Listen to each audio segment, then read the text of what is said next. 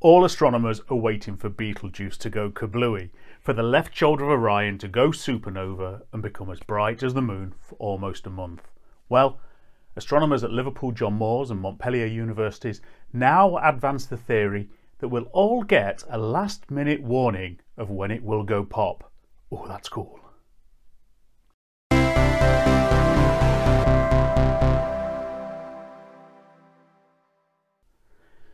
If you partake of a backyard telescope, you'll fall into one of two camps. Either you're excited about the prospect of one of the most familiar stars in one of the most familiar constellations exploding to outshine every other star, all the planets, and possibly even the moon for a few weeks. Or you'll be sad to see Orion lose its left shoulder and look quite different for the rest of time. If you're not an astronomer, you might still be excited by the prospect of a super bright star in the sky. And of course, you couldn't give a flying that the constellation Orion will look different afterwards because you probably didn't know what it looks like now. So you're the real winner of all of this. And there are actually dozens of giant stars in the night sky that are in old age running out of fuel and beginning to die. These will go supernova, which means they will rapidly contract and then explode, releasing light comparable to that of an entire galaxy, which will slowly fade again over weeks or months and when this happens, they leave behind a neutron star or a black hole, and the gas and dust that escape the pull of the remaining massive object is illuminated and grows over hundreds of years to become a beautiful nebula like the Crab Nebula supernova remnant in the constellation Taurus. Of those dozens of supernova candidates, many are visible to us overhead at night. Spica in Virgo, Antares in Scorpio, Rigel in Orion, and of course the one every astronomer is watching out for, Betelgeuse in Orion. The closest supernova candidate to Earth is U Scorpii, 64,000 light years away. This star fizzes with activity, but although a supernova can produce as much energy in an instant as the Sun produces in its entire 10 billion year lifetime, None of them are close enough to be dangerous and will be nothing more than a spectacular light show and a learning opportunity for astronomers.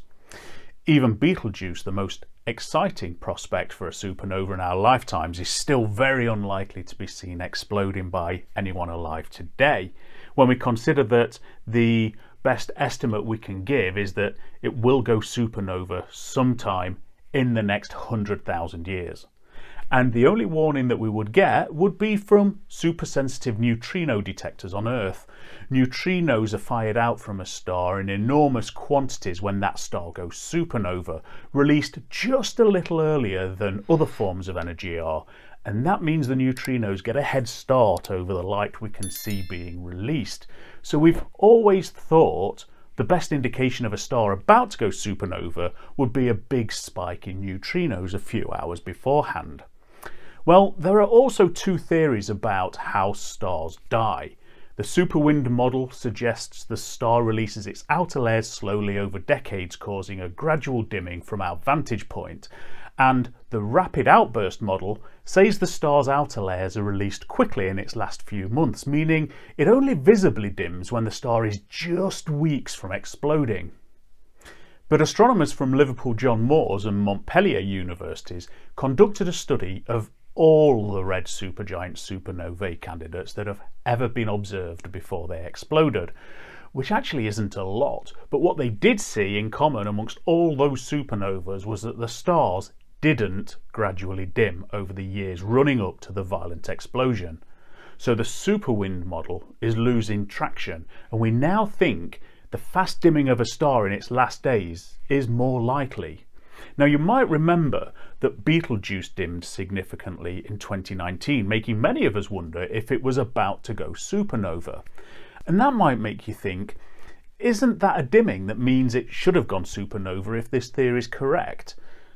Well, not really. Although astronomers were wondering if this was a dimming associated with the end of a red supergiant, in this case Betelgeuse, and many of us were waiting with bated breath, it didn't continue dimming to the level that the models suggest, not by a long way. Now, most stars routinely cough away material in events known as coronal mass ejection. Our sun does this all of the time, and it's the cause of the most beautiful auroras. But Betelgeuse's mass ejection in 2019 was a whopper, coughing out more than 400 billion times more material than our sun's average burps. The amount of material ejected was roughly equivalent to the mass of Mercury, and as all that material cooled, it became a cloud of dust that blocked some of the star's light and made it look dimmer from our view. After this ejection, life carried on as normal for Betelgeuse, and the dust scattered away from the star. But the rapid outburst model that this new study gives more weight to suggests the star will dim by a factor of 100 in the last few months before it explodes, much more than Betelgeuse did in 2019 when we were all wondering, some of us hoping.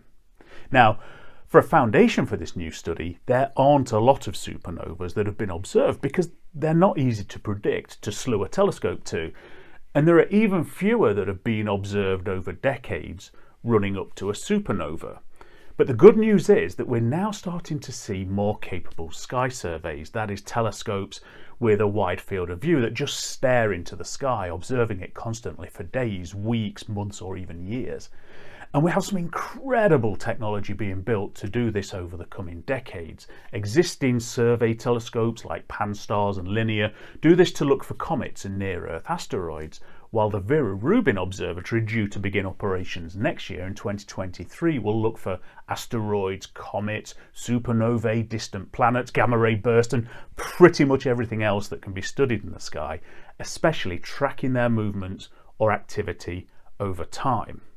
So that means we'll not only see distant supernovas in unprecedented detail when they do happen, but we'll have an intricate timeline of events running up to the explosions to confirm any visible predictors for those that we're wondering about. So astronomers will continue looking for the dimming of supernova candidates in case that's foretelling an imminent and magnificent astronomical event. And of course, if you're that non-astronomer, you just have to keep an eye on the news or this YouTube channel. And when we say that Betelgeuse is really dimming, you know there's a good chance it might be about to go kablooey. So let us know in the comments below if you think we're likely to see Betelgeuse go pop in our lifetimes. Just imagine how cool it would be if we could predict exactly when supernovas would happen. So we could have supernova parties and let the skies light up as a backdrop. And if you want to know how stars are born, live and die, of course you do, then take a look at these videos.